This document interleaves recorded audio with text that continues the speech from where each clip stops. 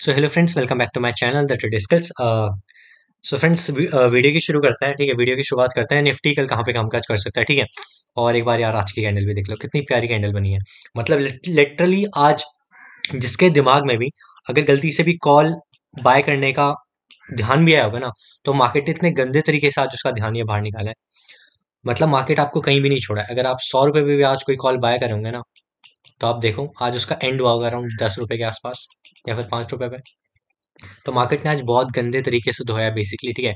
Bears ने काफ़ी अच्छे तरीके से आज काम किया, ठीक है? और अब देख लेते हैं। पहली चीज़, अब इतनी बड़ी कैंडल तो बन गई है।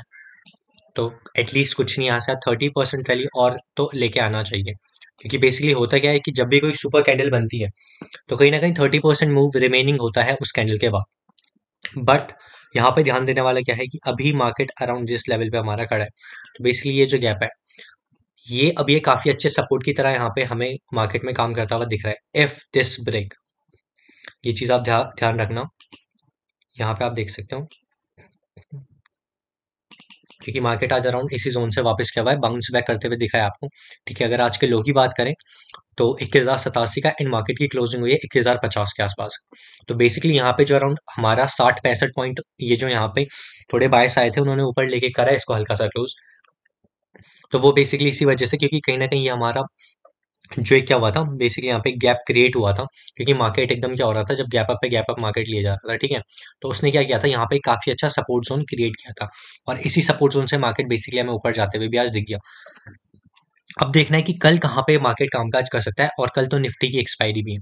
तो वहाँ पे एक चीज़ बता दूँ आपको दो चीज़ें जो काफ़ी पॉसिबिलिटीज़ हैं होने की तो वो क्या हो सकती है फ्रेंड्स आप देखो अगर कहीं ना कहीं तो आज बेसिकली जितना हमारी ये एकदम बनी है सुपर कैंडल बनी है, वो भी बेयरिश सुपर कैंडल ठीक है? तो इतनी ज़्यादा बेसिकली सेलिंग आई है यहाँ पे और दूसरी चीज़, अगर आप आज का प्रीमियम देखो मतलब जितने भी पुट के स्ट्राइक्स थे तो वहाँ पे आठ गुना, नौ गुना आज पैसा बना है। ठीक है? अगर कोई इन द मनी या फिर डीप इन द मनी भी थे तो वहाँ पे भी कहीं ना कहीं चार पाँच गुना तो पैसा हुआ है एंड जो ओटीएम थे पुट के ओटीएम्स थे, वहाँ पे हमें क्या हुआ कि आठ नौ गुना तो एटलीस्ट बनता हुआ दिखा मतलब आठ नौ सौ परसेंट का रिटर्न आज दिखा है तो क्या निफ्टी कल भी फिर आपको रिटर्न देगा? वापस से ये चीज़ सोचने की आ जाती है, पहली चीज़, ठीक है? और दूसरी चीज़ अभी सोचने वाली क्या है कि मार्केट अब खड़ा कहाँ पे आप ये देखें तो मार्केट खड़ा है एक सपोर्ट लेवल पे, और जो कि कैसा लेवल है? बहुत स्ट्रॉन्ग सपोर्ट का काम करेगा ये कल के दिन। इफ़ दिस ब्रेक तो यहाँ पे होगा क्या? क्योंकि जिस तरीके से आज की कैंडल बनी है तो आपको वापस से एटलीस्ट कुछ नहीं। तो आपको यहाँ तक के टारगेट इधर तक के टारगेट इधर कहीं तक के भी टारगेट आपको आने वाले कुछ दिन में देखने को मिल जाएँगे। क्योंकि आप देखो कि यहाँ पे तो मार्केट कहीं ना कहीं शुरुआत तो कर दिया है इसकी। और कल बेसिकली हो क्या सकता है कि कल मार्केट क्या कर जाए? दूसरा, कि यहाँ पे कहीं ना कहीं मार्केट इस तरीके से वापस से साइडवेज हो जाए। यहीं पे मार्केट क्या कर जाए? बेसिकली साइडवेज रह जाए इस लेवल के बीच में। और ये हमारा हो गया सपोर्ट तो इक्कीस तीन सौ और इक्कीस हज़ार के बीच में मार्केट क्या कर सकता है? बेसिकली यहाँ पे साइडवेज होने का ट्राई कर सकता है। तो ये चीज़ आपको ध्यान में रखनी है, ठीक है? अराउंड सौ डेढ़ सौ पॉइंट में ही मार्केट क्या करेगा? कल फिर मूवमेंट देने पे लग जाएगा। बट इफ़ कल अगर ये वाला सपोर्ट हमारा ब्रेक हो गया गलती से भी, या आप सपोर्ट मार्क करके चले ना गैप अप हुआ था यहाँ पे काफ़ी बड़ा तो उस वजह से यहाँ पे अराउंड कुछ नहीं। हमारा ये अराउंड साठ से लेकर सौ पॉइंट तक का।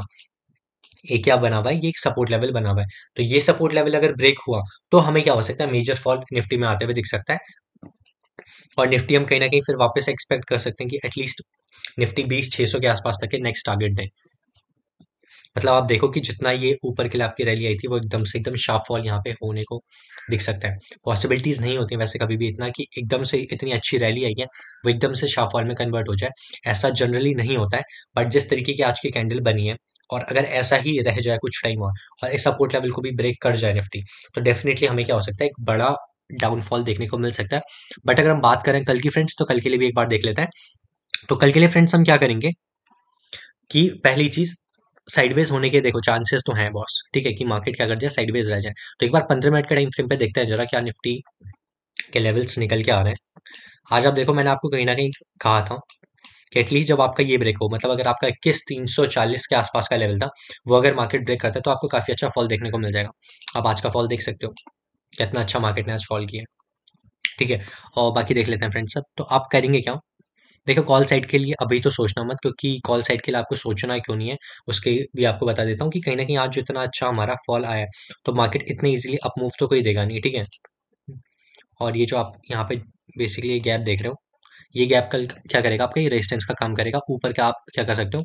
मतलब ऊपर के जितने भी आ रहे हैं, आप इनको ये नल एंड वॉइड मान के अभी चल सकते हो, क्योंकि वापस इतना बड़ा रिवर्सल आने का तो कोई चांसेस है नहीं, ठीक है? बट करना क्या है, हमें तो पुट साइड के लिए भी देखना है कि पुट साइड में हम कहीं ना कहीं कहाँ पे कर सकते हैं। तो आज जिस तरीके से मार्केट ने ये काम किया है, ठीक है, अगर ये बाय द वे कल ब्रेक होता है तो आप कर कल करिएगा क्या कि अगर इक्कीस हज़ार का लेवल आपको बेसिकली मार्केट में ब्रेक होता हुआ दिखे तो ट्वेंटी वन थाउज़ेंड के नीचे आप कहीं ना कहीं पुट का वहाँ पे देख सकते हैं। एंड पुट में एक चीज़ मैं आपको और बता दूँ कि आप बेसिकली वहाँ पे करेंगे क्या, आप छोटे छोटे स्कैल प्लान करेंगे, ठीक है? क्योंकि इतनी बड़ी रैली आ गई कि वापस से कोई बड़ा अप मूव सॉरी पुट में आपको कोई मूव मिले तो इसके चांसेस थोड़े से मुझे कम लग रहे हैं। तो आप करेंगे कि अगर इक्कीस के मार्केट नीचे निकलता है तो आप एक बीस 950 का अपना पहला टारगेट रख सकते हैं।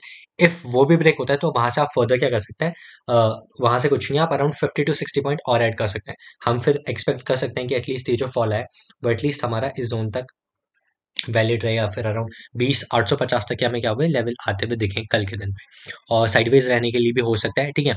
और कहीं ना कहीं आप ये देख लेना कि यार मार्केट है, कर तो कुछ भी सकता है, इतना बड़ा फॉल तो नहीं करना चाहिए था बट किया है मार्केट ने फॉल तो आप क्या कर सकते हो कि अगर कॉल के बारे में सोचो भी तो एटलीस्ट जब तक इक्कीस हज़ार दो सौ पचास के ऊपर मार्केट ना निकले, कोई भी कॉल के बारे में नहीं सोचेगा, ठीक है? और पुट के लिए मैंने आपको बता दिया है तो पुट के लिए आप इक्कीस हज़ार के नीचे क्या कर सकते हैं? पुट का ट्रेड का प्लान कर सकते हैं। और बाकी आज तो हमें काफ़ी अच्छी ट्रेड मिली थी, ठीक है? क्योंकि हम जनरली जैसे ये ब्रेक हुआ था तो आप देख सकते हो कितना अच्छा। और यहाँ पे वन गो में बढ़ रहे थे प्रीमियम ये भी मैं आपको बता दूँ। मतलब अगर कोई सौ रुपये का प्रीमियम था तो वो यहाँ से कुछ नहीं, वो डायरेक्टली दो सौ पचास तक गया, वो भी एक सिंगल मूवमेंट में। तो यही है फ्रेंड्स आज की वीडियो में अगर वीडियो अच्छी लगी हो तो वीडियो को लाइक और चैनल को सब्सक्राइब करना ना भूलें। बाकी thank you thank you friends thank you so much और बाकी टेलीग्राम चैनल आप ज्वाइन कर सकते हैं, ठीक है? Thank you guys